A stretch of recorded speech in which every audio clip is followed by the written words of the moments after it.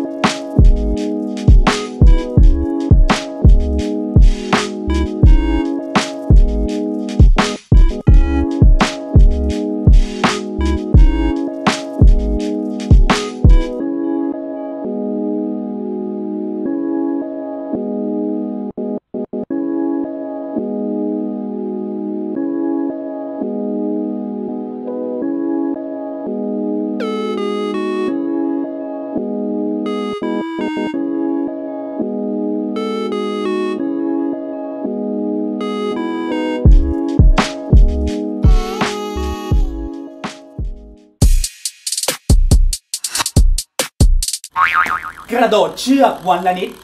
ชีวิตแจ่มใสว่ายมา